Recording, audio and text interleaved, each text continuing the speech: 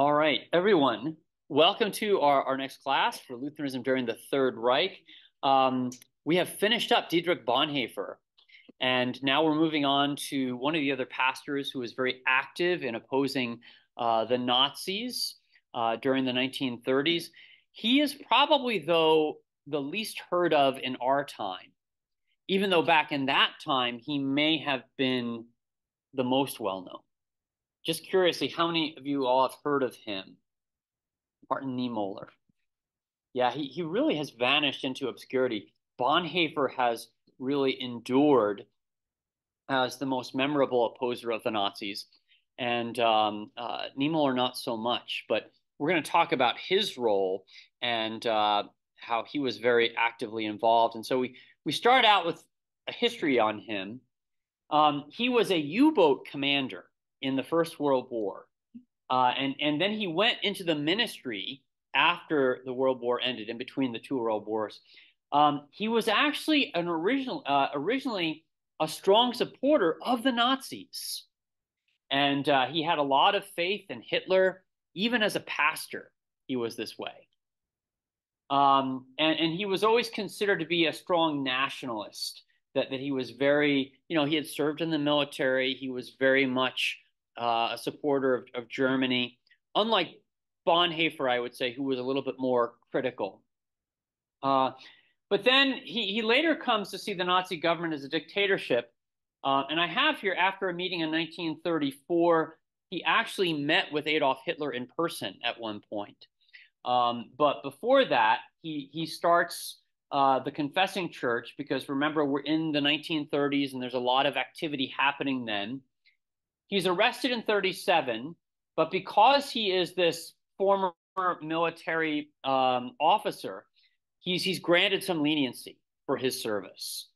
Uh, but nevertheless, he's still imprisoned in the concentration camps of uh, Sachsenhausen and Dachau from 38 to 45. But he did ask to be released from the camp at one point if he would fight in the army, that this was his request. Yeah.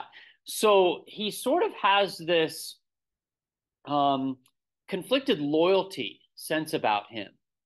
Um, and and he lived, but he lived a long life after the war as a pacifist. That's him there in the picture when he was in um, his his naval days as a, a U-boat officer, and um, uh, you know he had a number of photographs taken at the time. This is what he is most famous for, and everybody knows this quote. First, they came for the socialists, and I did not speak out because I was not a socialist. Then they came for the trade unionists, and I did not speak out because I was not a trade unionist. Then they came for the Jews, and I did not speak out because I was not a Jew. Then they came for me, and there was no one left to speak for me. You all, have you all heard this quote before? Yeah, it's it's oftentimes overlooked that a Lutheran said this. People will often say Protestant minister, you know, they don't get specific enough. Um, but that then became the title for a, a book that was written about him called Then They Came for Me. And, and this is probably, um, well, at least most recently, this is the most well known book about him. Um, and the book is called uh, Then They Came for Me Martin Niemöller, the pastor who defied the Nazis. And so I, I quote a lot from this book and um, talk about him because he does have a. I, I you know, this is titled the Niemöller Confession, right? And it's always you hear this said in a lot of speeches and everything when people are concerned about the way their society is going and and things along those lines. All right, so this is early on in the book, and this gives you a picture of who he was initially. Um, he said nothing when the Gestapo arrested communists, socialists, and Jews, and not because he was timid. As we will see, he was anything but. He was silent because he shared the belief that these groups were anti Christian and disloyal to Germany. Right, so we talked about this a lot early on in the study that um, in between the First and the Second World War, Germany was going through a lot of transition, right? They had uh, seen a change in their government from having um, a monarchy or an autocracy that was led by the Kaiser to now moving to a democracy. Um, and with that, you have all these little smaller groups now that are coming along vying for power. And we're going to talk about how um, Christians perceive democracy here at that time in a minute. But um, there were a lot of threats to Christianity itself that were perceived by the church in those days. Um, communism and socialism, Judaism were, were all seen as being antagonistic influences to the church in German society. And so, um, especially a lot of the Protestant Germans were on board. Uh, you know, we, they were sort of given uh, the, the two largest parties um, that were forming during that time. You had the Nazi Party on one side, and then you had um, the Communist Party also. And you know, Russia had just had its communist revolution back in 1919, and you know they were getting rid of Christianity, especially when Stalin comes to power um, a little bit later. And and the Christians in Germany didn't want that. And Hitler was giving a nod to Christianity and talking about um, the importance of Christianity in terms of the morals of the nation. So, you know, you can see what was was drawing uh, people to him. Of course, early on, you don't know what his full agenda is going to be. So, democracy is liberal. For many committed Lutherans, the replacement of the monarchy, the Kaiser, with a government based on the will of the people was not just repugnant politically, but also, and far worse, an affront to God. Democracy was an affront to God. Government by the people ignored the most basic truth about mankind, the reality of human sin. Protestant church leaders blamed thinkers like Karl Marx and Jean Jacques Rousseau for propagating delusions about the nobility of man and the sovereignty of the people. Right? So they were saying these things because, um, you know, you had um, the Enlightenment, which had taken place centuries before that, but you still had um, a lot of this um, belief that that man now was advancing in his um, scientific knowledge and in, in, his capability, right? You had Darwin and evolution happening uh, maybe about, you know, 50, 60 years before this. Um, they were, uh, you know, having great ships that could cross the seas. Um, they could communicate um, over large distances. I mean, there was a lot of just growing confidence in in humanity although they had seen some bumps along the way with World War One and the sinking of the Titanic that interrupted that, but still, uh, you know, this notion that these monarchies that had ruled Europe for centuries and centuries now we're giving away to a more um, equality-driven method of, of leadership where where everybody could have a say. Right? But for a lot of the uh, early Lutherans, they didn't like that, right? Because I mean, you saw the monarchy deposed in Russia, that was the, the Christian czar, and it was replaced by this, you know, secular ruling class with Lenin and then later Stalin, which then eventually just became its own dictatorship anyway.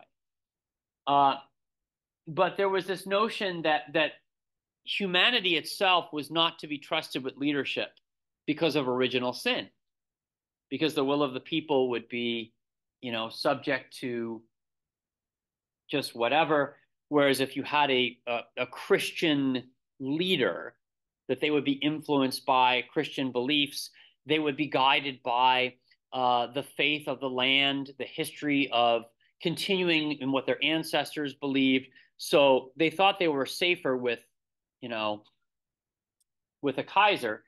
But this is an interesting quote. The church no longer, with, with democracy coming into Germany, had strong ties to the national government. The three century long alliance of throne and altar from Martin Luther to Wilhelm II had come to an end. This is the first time Germany is seeing a democracy in its whole history. And, and they had uh, all of these centuries now where, you know, um, since the the end of of the papal influence on the Germans, and then Martin Luther brings about Protestantism, and uh, Protestantism has an effect on the rulers of Germany for all these centuries. Wilhelm II is the final Kaiser. Um, and so you have this connection here of, of throne and altar, as it's being quoted, and uh, it's coming to an end. Yes, John David. Stories that many of the um, German princes supported Hitler because they believed Hitler would bring restoration the monarchy. Yes, I mean there was some personally despised. Right, and so if if World War One ends, um, you know, what was it, 1919, 1920 something, and then you have, uh, you know, about 12, 13 years before we get to 1933. In between those two time periods is when you have the installation of the democracy. But as I had said, also, democracy brought a lot of interesting things to Germany art, culture, things that they were appreciating, but it also brought a lack of morality. And I, I said this before like pornography. Um, a lot of people were not crazy about um, women's roles now moving outside the home. Women were moving into the workforce. Uh, people felt Germany was becoming less family oriented, uh, less home centered, and uh, you know, so people don't know this, but but when Hitler came to power, what you know, I think I'm not sure if he forbade women from having those positions outside the home as much, but there was certainly a movement in Germany for that for women. Let's see, there there was like a threefold quote that women's lives should be about. It all started with K, and I know one was Kinder for children. I forget what the other two things were. What which was? Oh, that's right. I should I should know that one. Um, children, church, and kitchen.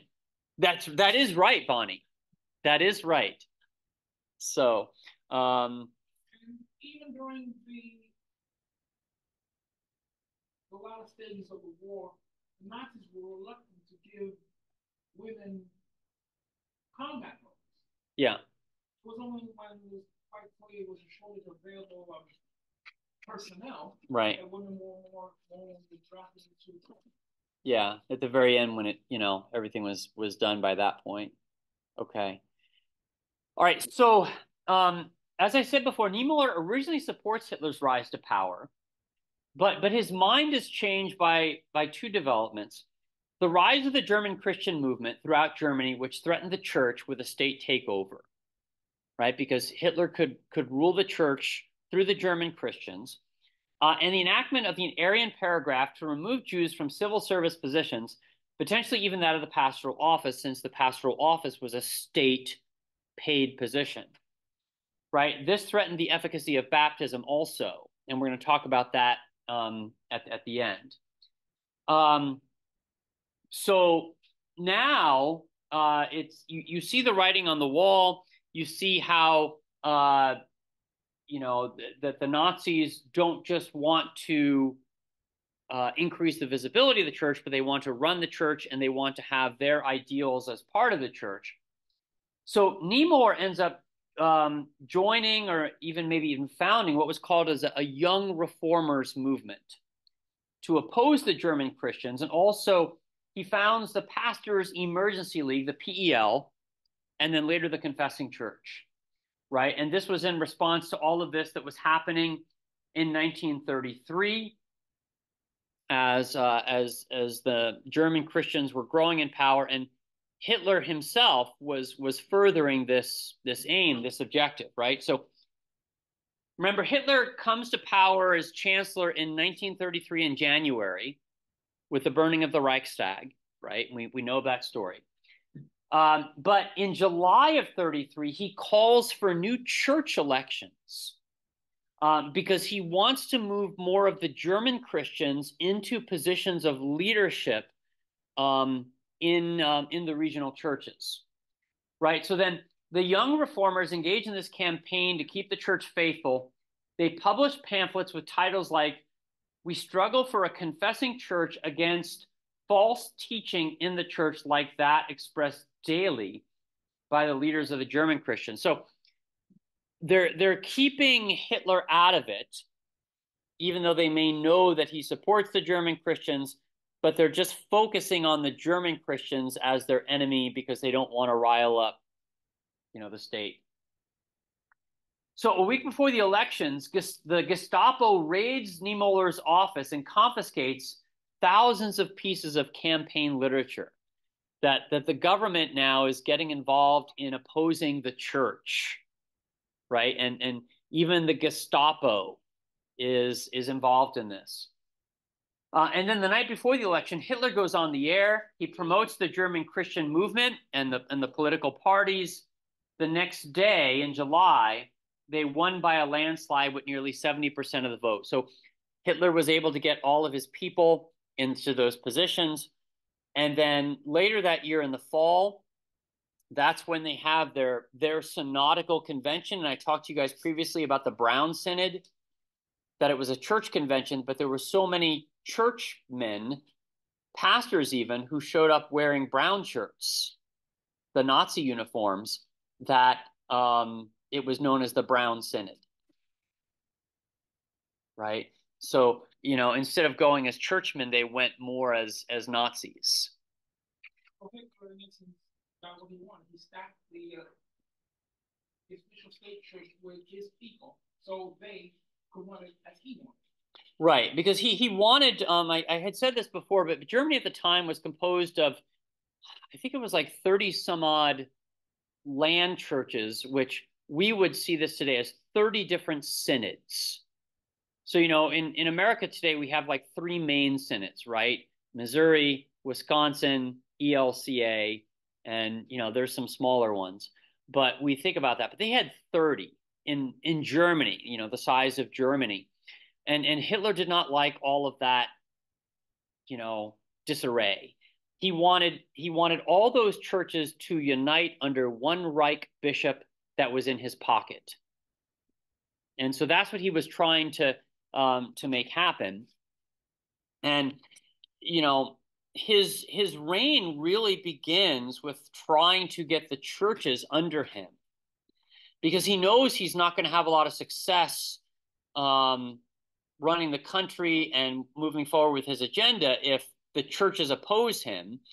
And the churches certainly did have the uh, you know the theological ammunition to oppose him. So the church was really the greatest, you know, one of the greatest earliest threats to Hitler. He got rid of the other threat in the communists, like I told you about with the Reichstag fire, where the fire is uh, is set, and then oh, a communist just happens to be conveniently found walking around holding a lighter, and so then that gives him an excuse to go and arrest all the communists. So he's got them out of the way. Now he's got to get, you know, the the Christians, uh, the Protestants in line as well. So he writes this, uh, writes this letter to the young reformers uh, early on.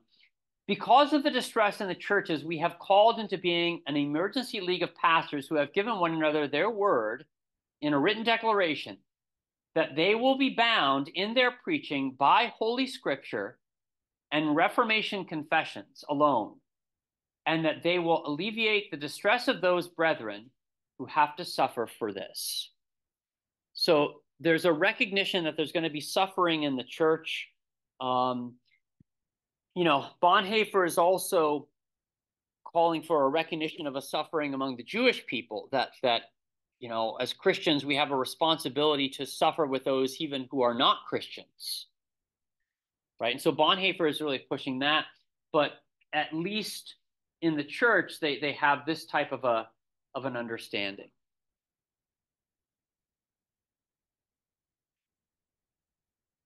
All right, now Niemöller and Bonhoeffer actually meet each other. And um, this is an interesting quote from the book. Uh, Bonhoeffer first met Niemöller in early summer 1933. Uh, although they agreed about the need to fight the German Christian threat, they did not see eye to eye on much else. Their backgrounds could not have been more different. Bonhoeffer's family was liberal, cosmopolitan, academic, and unequivocally anti Hitler. Niemöller, proud of his Navy days and pleased with the rise of a strong, charismatic leader, was intent on demonstrating national loyalty even under Hitler. So you, you have these two very different uh, mindsets about the, the Nazis early on and, and Hitler and the rise of someone like a Fuhrer, right? But at the same time, they recognize that there are these elements that are in opposition to the church's confession. And, and so they both come together really under that uh, umbrella. Uh, Bonnie.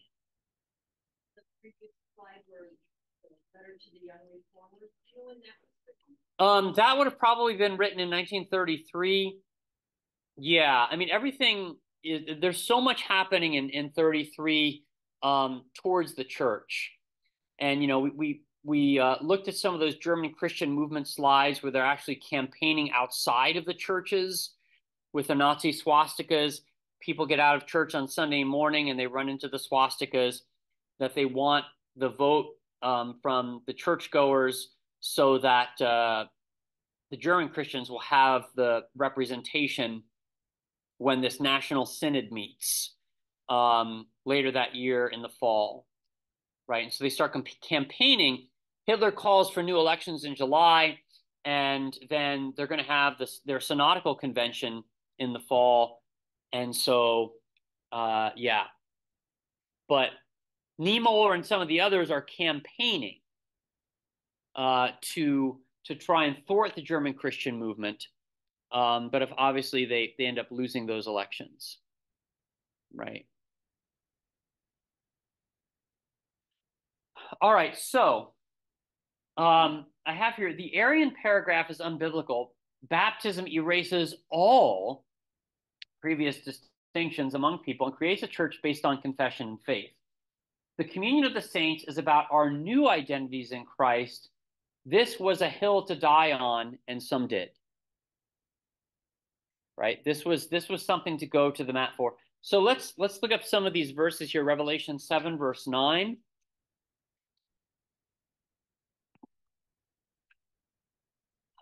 Anyone there? One of our stained glass windows depicts this. Bonnie, I'm not oh, Bonnie, are you there? Okay, go ahead, Rusty. After this, I looked, and there before me was a great multitude that no one could count, from every nation, tribe, people, and language, standing before the throne in front of the Lamb. They were wearing white robes and were holding palm branches in their hands. So this is depicted in the last stained glass window we have in the sanctuary on the on the right.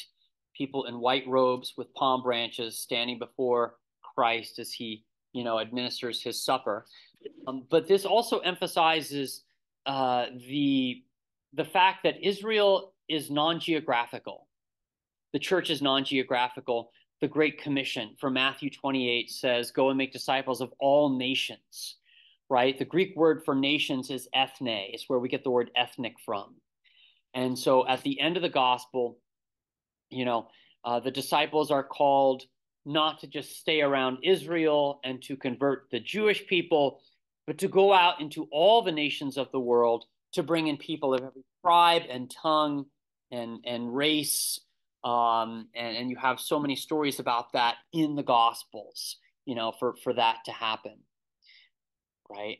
And you know, we had said before that uh, if you had, do you guys remember what I said? The rule was for how Jewish you had to be to be dismissed like what what what what would make you what percentage of your ancestry would make you Jewish? One grandparent. Yep, one of the four. So if you're 25% Jewish, then you are Jewish. You could not hold uh, a civil service position in the government.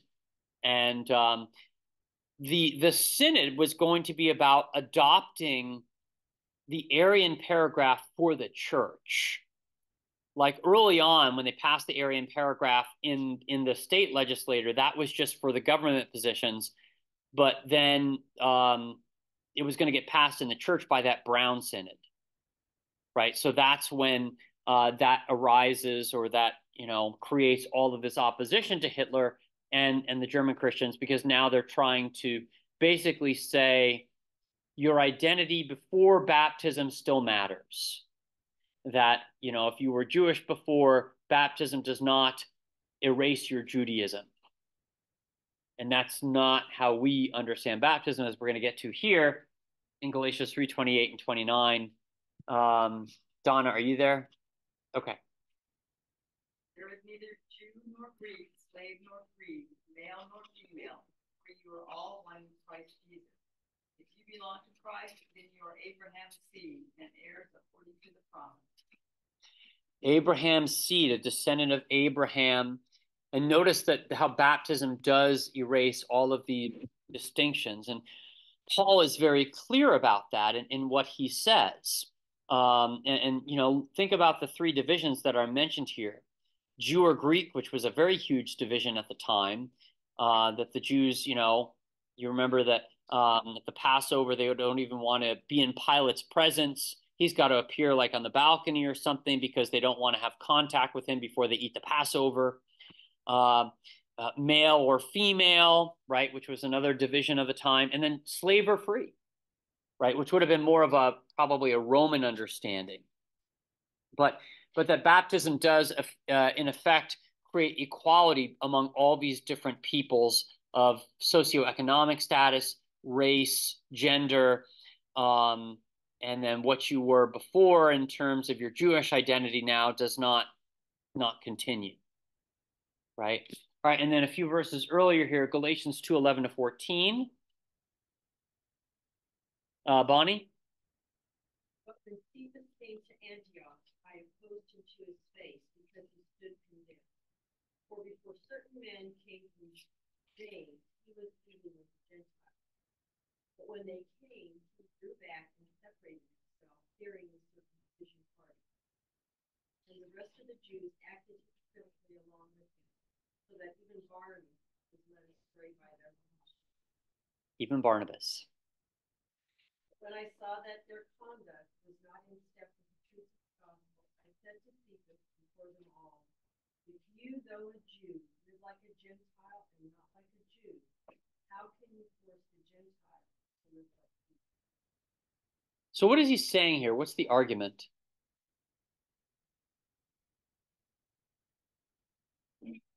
Accused Peter Cephas, Peter, yep. of hypocrisy because while preaching that all people who do baptism are equal, he behaved in a manner to avoid offending the uh, Jewish Christians.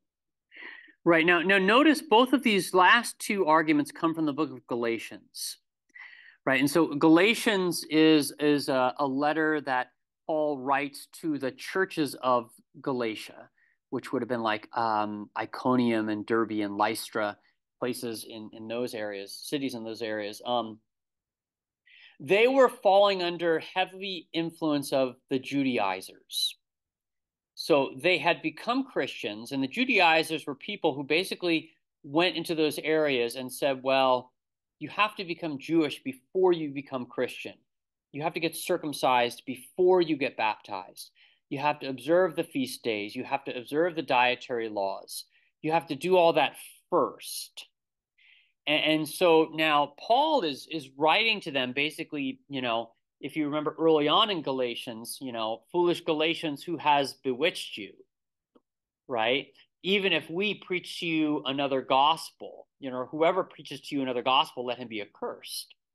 So to say that you have to become something else before you become Christian, again, annuls the gospel because it, it, it gives a pre requirement. And it says Jesus is not enough. You got to do this other stuff first right? So Paul says no, baptism erases those distinctions. And the the issue here is that Peter had come to town and there were both Jews and Gentiles in a certain place.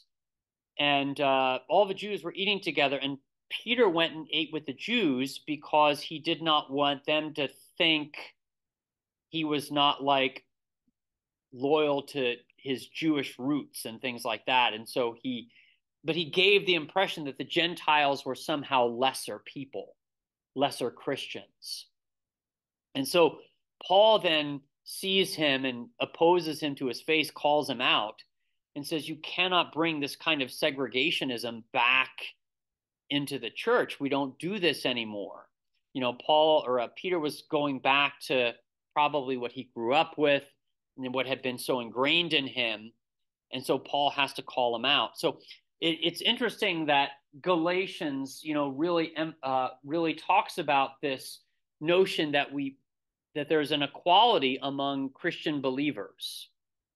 And and you know, in, in during the Nazi era, Hitler was coming along and saying, no, there's not. And, and so now, as the the church, you get into this dilemma where you have these verses like, okay, obey your leaders, Romans 13, but oh, baptism erases all of these distinctions, Galatians 3.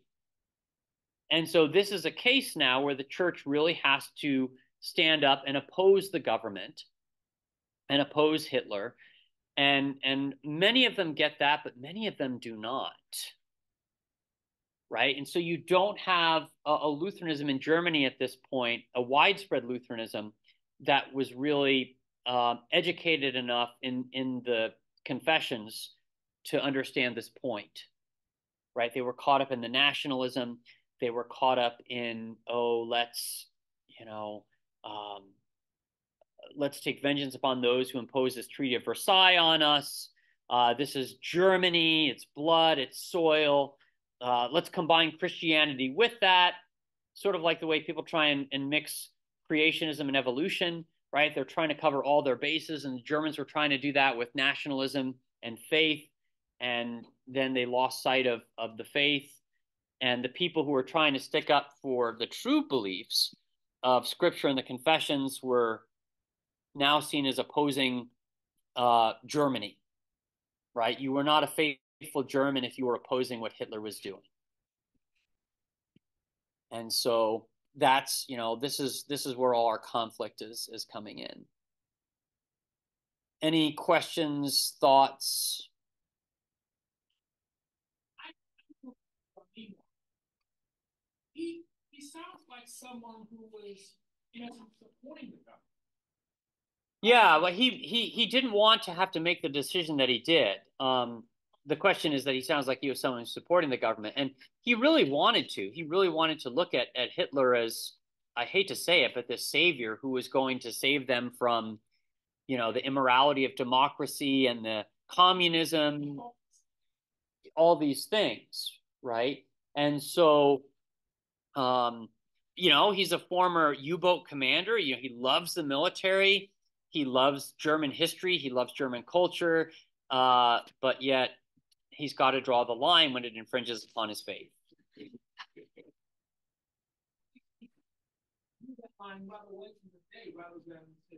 Well, later in the day, for sure. Saw the dangers at the start and did his best to not oppose them, but to negate their effect. Yeah. Yeah, yeah. And so that's why it's interesting that you have two very different people. And, you know, we won't spend as much time on Niemöller as we did on Bonhoeffer because Niemöller doesn't, um, he doesn't write a lot, but he has an interesting story that we'll, you know, continue on with next week. And then after him, we'll move on to Hermann Sasse, who was uh, a very well known at the time theologian and is really being revived among a lot of Lutherans today. So, all right, but let's go ahead and let's let's close in prayer. Heavenly Father, we thank you for the witness of these men in the past who confessed uh, our faith in the face of opposition and antagonism. And we pray, Lord, that you would make us equally bold in our witness uh, in our culture, um, that people would hear the truth of Jesus and believe. In his name we pray. Amen.